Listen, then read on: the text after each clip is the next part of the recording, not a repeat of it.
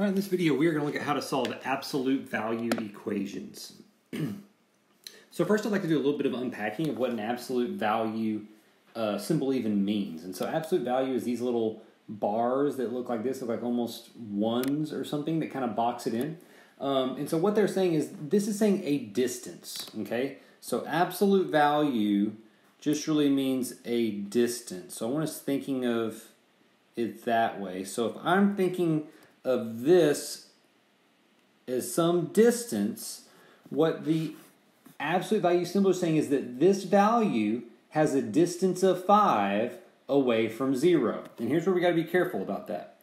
That means if here's 0, this has a distance of 5 away from 0, but also this, a negative 5, also has a distance of 5 away from 0. Okay? That's 5 units away, and that's 5 units away. So how I would actually solve this equation is I'd kind of have to do it in two separate parts and say, okay, we know that 2x minus 1 is 5, but also in order for this to be a distance of 5 away from 0, we have that 2x minus 1 could equal negative 5. And so I have two mini problems to solve. Here, I'm just going to solve them both separately, so I'm going to add 1 to each side, and then I'm going to divide by 2 on each side, and we get that x equals 3. Over here on the right, I'm going to add 1 to each side, and I'm going to divide by 2 on each side and get that x equals negative 2. So these are both solutions to our absolute value equation. I would substitute them both in and make sure that they work. Um, and in fact, I think we should probably do that. So let me let me come over here. Let's substitute our answer. So if I have 2x minus 1 equals 5, the way I'd simplify that is 6 minus 1 equals 5. And that's good. That, that works, okay? But now let's back it up and let's try the same thing with our other solution, because it's a little bit tricky. If we substitute in our negative 2 to see if it works, we do 2 times negative 2, which is negative 4. Negative 4 minus 1 is negative 5. And you might be saying, okay, but negative 5 isn't equal to 5. But remember, absolute value is a distance. So if you ever have a negative value inside the absolute value uh, symbols, we're considering it like a distance, we always measure a distance positively. So that's just saying that'd be turning that negative 5 with the absolute value symbols into a positive 5, saying this is a distance of 5. So since that's also a true statement, we know that both of our solutions work. Let's do a couple of practice problems.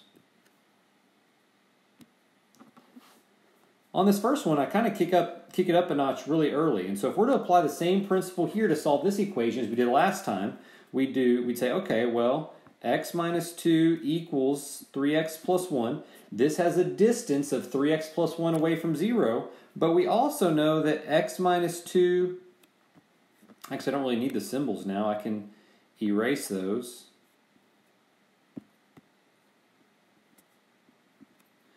But we also know that x minus 2 could be here. Just in the last problem, I think we had like a 5 and a negative 5. Here we have a 3x plus 1 and a negative 3x plus 1. And so these are my two equations that we're going to solve. So let's just kind of roll through them real quick. Um, I'm going to subtract 3x from each side. I guess I can keep my same color scheme. I'm going to then add 2 to each side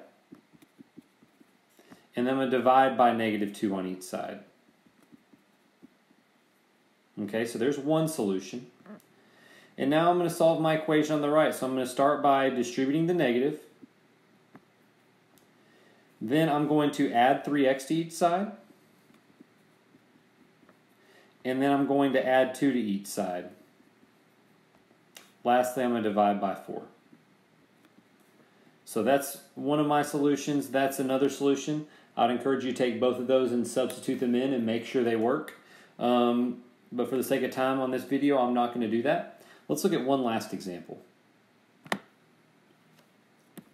So here, this one's a little bit tricky, uh, and this adds a small step in that first, we need to isolate our absolute value symbols. So think about this whole thing within the symbols almost like it's a variable, like it's a big X that we're trying to solve for. So if that said 2x plus 4 equals 6, what we do is we'd start off by subtracting 4 from each side.